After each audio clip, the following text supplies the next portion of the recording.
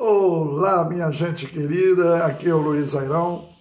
Estou lançando proximamente em todas as redes sociais um monólogo. Me pediram para gravar um samba falando dos 80 anos de vida. Tinha que ser um samba ópera.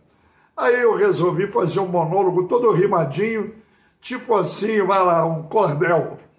Fiquem atentos. Daqui a pouco em todas as redes sociais, tá bom? Um abração do Luiz Airão.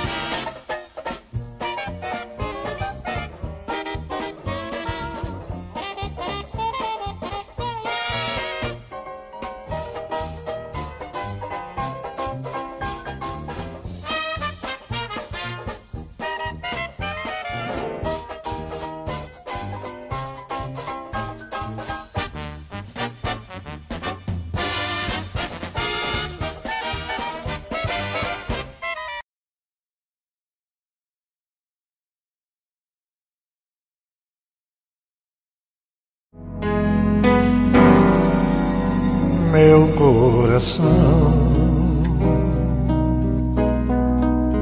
Não sei porquê bate feliz quando te vê e os meus olhos ficam sorrindo e pelas ruas vão te seguindo, mas mesmo assim, foges de mim. Podia ser samba enredo, pois passou que nem torpedo a caminhada dessa vida, de 80 anos contida na palavra gratidão. Deus me segurou com a mão, deu-me forças contra o medo orfandade muito cedo, 13 anos, e sem pai. De repente o mundo cai, mas fica forte a lembrança. Quanto mais o tempo avança, torna-se mais viva ainda. Há uma triste, mas linda. Foi quando, já bem doente, meu pai me deu de presente um passeio ao Corcovado. Tudo o que eu tinha esperado custosa e longa viagem, mas dei abraços na imagem, tenho tudo na memória, deu até samba essa história, cujo título eu diria nasceu lá naquele dia, pois o Cristo ambidestro é mesmo o grande maestro que rege céu, terra e mar, e que um dia desceu de lá para ensinar a mãe valente a guiar firme o adolescente. Fui para o trabalho e o estudo. Era sacrifício em tudo. Sonhava ser advogado, o que ia ser realizado.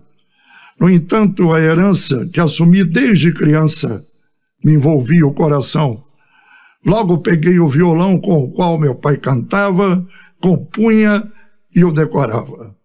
Único filho, ouvinte, fã, lá fui eu por meu afã de ser o tal profissional. Essa herança final já vinha lá do meu avô, maestro e compositor. E por favor, me desculpe, mas vá lá no YouTube e escreva Arthur Airão. É dele a composição. Partiu na gripe espanhola e volta numa vitrola, com seu clarinete de mestre. Louvada seja a internet. Uma bênção, de repente, veio morar perto da gente. Vindo lá de Cachoeiro, um garoto bem maneiro, predestinado ao sucesso. Com ele fiz o meu ingresso. Ele queria ouvir rock, eu não tinha no estoque, mas não perdi a banca. Inspirei-me no Polanca, fiz barulho a noite inteira e no dia seguinte, a primeira que ele ouviu, ele gostou. Roberto Carlos, já pensou? Quase que caí para trás com os direitos autorais. Duas vezes meu salário dando duro além do horário na datilmecanografia. Qualquer um enlouquecia. Quis fazer uma surpresa e pus em cima da mesa 40 notas de mil. Minha mãe, quando viu aquele monte de dinheiro, foi perguntando primeiro: que foi que você fez? Era o sangue libanês. Ela não acreditou e no dia seguinte ligou para o caixa da CBS. Confirmou. Ah, ninguém merece. Vim dos meus 14 aos 20, trabalhando no seguinte: levando um cego e as vassouras e oferecendo às senhoras do meu bairro e adjacências. E vi certas indecências olhando pela fechadura. E o meu cego dava dura. Que foi que viu lá dentro? Quando lembro, não aguento. Inocência e pudor. Digo não. Olha o senhor. Ninguém ia para o divã. Ia para o Maracanã ver seu time jogar, comer um sanduba e voltar dependurado no bonde e jogar pelada onde ralasse o pé no terreiro. Fui moleque bem arteiro, que hoje faz arte com o dom de transformar som num fio de melodia e as palavras em poesia, mas que queria ser lembrado depois de tudo passado, não só como autor, cantor, como um grande benfeitor. Agora a chance é pequena, mas quem sabe a Mega Sena? E veio a engraxataria, mas só depois do meio-dia. De manhã era o colégio. Órfão tinha o privilégio de batalhar bolsa de estudo. Metia a cara com tudo porque a média era sete. Fui estudar no Lafayette, Tijuca, bairro da Alta. Foi aí que a revolta ameaçou criar lastro. Vi Guevara, Fidel Castro, li Revolução Cubana e vi Copacabana quando fui vender bebidas alcoólicas desconhecidas, mas eu era convincente, falava como experiente do teor de cada uma, mas nunca provei nenhuma. A mesma pasta de couro que levava o meu tesouro, a mostra do que eu vendia, que vergonha quando abria, cheiro de álcool se espalhava e da classe alguém gritava: Que cheiro é esse? E eu dizia: deve ser da enfermaria ou da sala de ciências. Estão fazendo experiências. Então, passava batido. Eu era um cara querido, já compunha e cantava, e a turma solicitava, canta aquela, quero ouvir.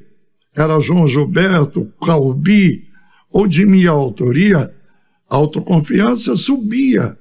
E ali perto o bar divino, de onde a mão do destino foi juntando a caminhada daquela rapaziada que breve faria parte do belo mundo da arte da música popular. Tim Maia, para começar, Erasmo Carlos, Jorge Ben, e ninguém sabia quem era um e era o outro. Todo mundo era garoto. Dos 20 aos 30 anos, bênçãos guiaram meus planos já tinha sido soldado, onde aprendi um bocado, saí e virei concurseiro. e passei quase em primeiro para o grande banco do Estado. Futuro assegurado. Os que eram escriturários, 17 meios salários por ano, coisa bonita, conto e ninguém acredita, mas isso aí existiu. Brasil era um outro Brasil. No banco conheci gente esforçada, inteligente, com vontade de crescer, de progredir, de vencer.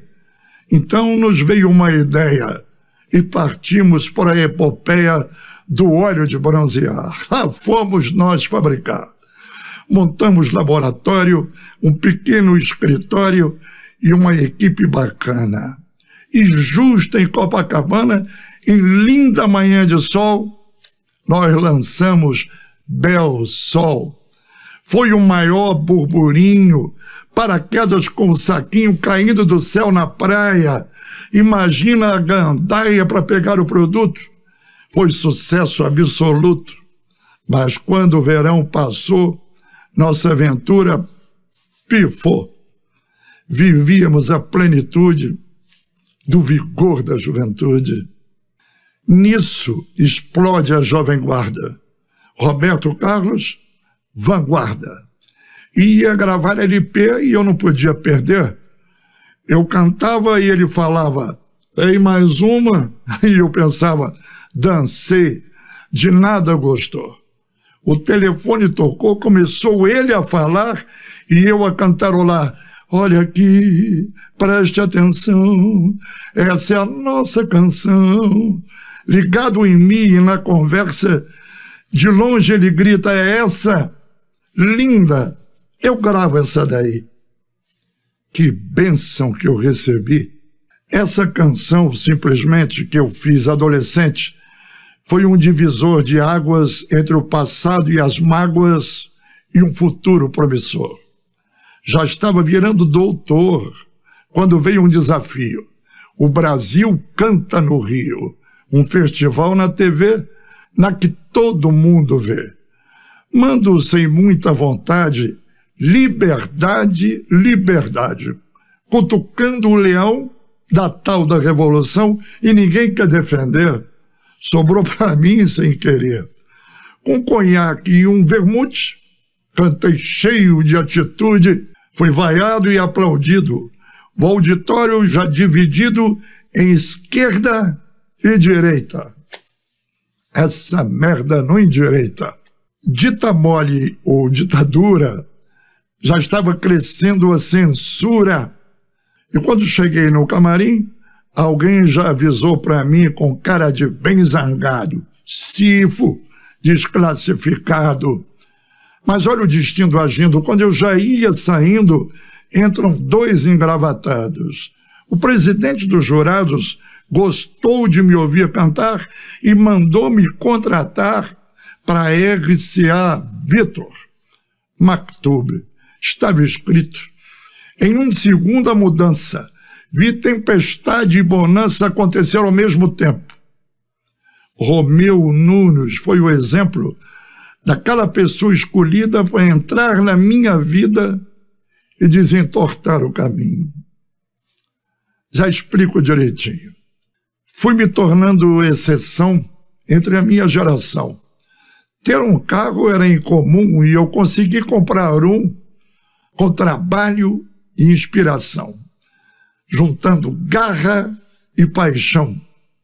Dei entrada em apartamento e pensava em casamento com a moça mais bonita que eu tinha visto na vida.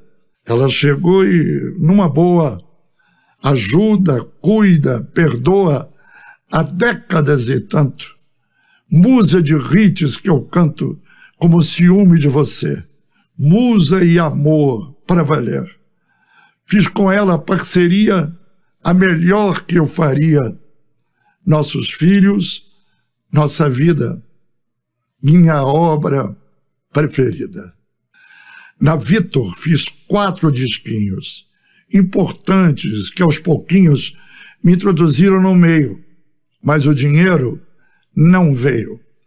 Advogado tributarista ganharia mais que artista e desisti de ser cantor autor e procurador do tal do Banco do Estado, estava realizado.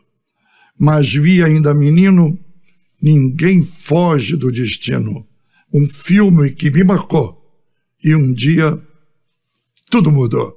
Num espaço de dez meses, Romeu me encontra três vezes, em três pontos diferentes, atendendo aos meus clientes, e me diz: Meu filho, para, vê se esquece essa mala. Advocacia é problema, você é artista, não tema. Tô na Odeon agora, me manda já sem demora as músicas que você tem.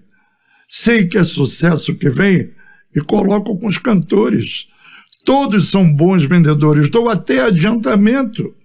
E ficou no pensamento Clara Nunes, Simonal, Timóteo, nada mal, usaria esse dinheiro para o casório em fevereiro. Mas ações, processos, não deu. Você mandou? E nem eu. Um ano o tempo correu, encontro de novo o Romeu. E as músicas, doutor? Mandei por um portador dois sambas somente, com uma coisa em mente. Não podia ser à toa encontrar uma pessoa que insistia tanto nisso.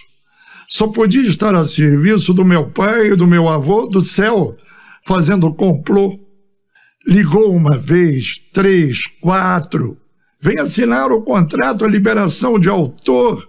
Coisa rápida, por favor. E entre afazeres corri a gravadora e ouvi da boca do meu amigo. Não fique zangado comigo. Vai para o estúdio, põe a voz. Que surpresa, cá para nós. Lugar certo, hora certa. Pus a voz em porta aberta, no silêncio da madrugada. Fui para tudo que é parada em um mês exatamente o sucesso, finalmente. Deus abriu todas as portas, escreveu certo em linhas tortas. Aí era a vida de louco, um sucesso atrás do outro, correndo todo o Brasil. Qualquer cidade me viu, grande ou pequena, eu cantava. Ia mesmo onde o povo estava. Era avião e estrada, o lobo da madrugada, quero que volte, pedida, era bola dividida, e mulher brasileira, samba enredo de primeira, sucessos impactantes, explodi com os amantes. Mas quando gravei o lencinho, com respeito e carinho, não teve para ninguém, não. Dois anos fui campeão, o primeiro nas paradas, plateias superlotadas, Trabalhei de sol a sol, fiz sucesso em espanhol pela América Latina, disco de ouro e platina, e dia sim, dia não, estava na televisão. Então abri restaurante e pude ser contratante dos cantores e cantoras. Eram noites sedutoras, casa cheia e aconchegante, mas com o dono distante já sabe o que aconteceu. A grana, o gato comeu. Construí o Canecão, o de São Paulo, grandão, mais de mil lugares sentados, som, luzes, câmeras importados, a melhor casa de show. Foi o rei quem inaugurou, mas demais foi o segundo, maior artista do mundo, Chico Anísio, com certeza. Comecei com a realeza, rei da música, rei do riso. Mas com o Chico foi preciso contratar mais 20 dias. Glória nas bilheterias. Glória por eu conhecer, por eu poder conviver com um desses seres humanos que nascem de 100 em 100 anos. Lá havia instrumentistas, tudo que é tipo de artistas grupos de samba e até grupos de jazz e balé. Depois o show principal, sucesso fenomenal, shows internacionais. Eu lá e viajando demais. E bem no meio do ano, Alô, alô, Marciano, estava sendo gravado ali no estúdio ao lado de onde eu gravava também. Adivinha? Era quem? Era incrível Pimentinha, pequena grande rainha dos palcos desse país. Nada menos que Elis. Convenci Elis Regina e com ela então termina a minha participação nos agitos do Canecão. É difícil a sociedade onde há ambição e vaidade. Saí fora, abdiquei, vendi tudo e voltei, bem no mês de fevereiro, para o meu Rio de Janeiro, e o dia inteirinho tocavam o meu canarinho que eu gravei para a seleção. Vendeu quase um milhão mas mesmo depois da derrota, o público nem deu pelota.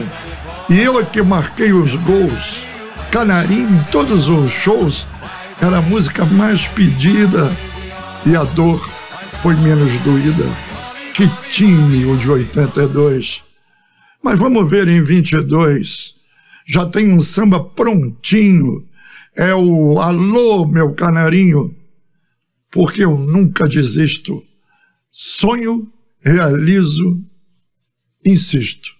Plantei filhos, vieram netos, flamboyants, meus prediletos.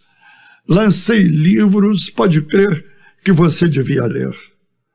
Acertei mais do que errei. E quando errei, consertei. Fui também cabeça quente, por vezes inconsequente, e não deixava barato. Ia para as vias de fato mas o tempo é prudente. Me mudou e literalmente ser músico é muito bom. E eu soube baixar o tom. Tive 13 residências, maior das experiências num condomínio da Barra, de luxo e gente de marra. Novos ricos, o emergente, ali virei resiliente. Vi corruptos e espertalhões. Vi honrosas exceções. Vi que a regeneração, a era, já era, irmão, ainda está bem longe. Nem é preciso ser monge, basta ser bom e leal. E um dia o bem vence o mal. Ergui casa e casarão, ergui gente, dei a mão, e colhi os resultados quando fiz com convidados um álbum que está nas redes. E ouvi de todos eles: que prazer, mestre, irmão, pagodinho, pericão, Xande, Baleiro, Alcione, monarco, eterno nome da minha portela amada. Que pessoa abençoada! Tem o Diogo Nogueira, filho do Nona Madeira. Tem o Toninho Gerais, autor de Mulheres, quer mais. Tem a rapaziada boa dos Demônios da Garoa. O álbum Um Samba de Respeito é para ninguém por defeito. Como nem tudo é perfeito, sofri algum preconceito no decorrer da carreira. Crítica sem eira nem beira, tipo não vi e não gostei, não é da patota, zoei, perdeu tempo o redator, sumiu no retrovisor, encarnei Mário Quintana, eles cães, eu caravana. Hoje a turma analisa, tem critério na pesquisa, agradeço cada artigo, são respeitosos comigo, honram os nossos ofícios. Encarno agora o Vinícius, que esse respeito perdure, seja eterno enquanto dure. E vou seguindo na estrada. Cinco mil shows não são nada. Agradeço a Deus primeiro, Pai maior, maior parceiro. Oito décadas vividas, quase um bilhão de batidas que já deu meu coração. E haja, diz o refrão. Enquanto Deus me der vida, a missão será cumprida, a missão de equilibrista, pois essa é a vida do artista. caminhar na corda bamba. Espero cantar muito samba e prosseguir no monólogo. Isto é apenas o prólogo e terá segundo ato. Até aqui, sou muito grato por toda a sua atenção. Abraços, Luiz Airão. Ah, se tu soubesses como eu sou tão carinhoso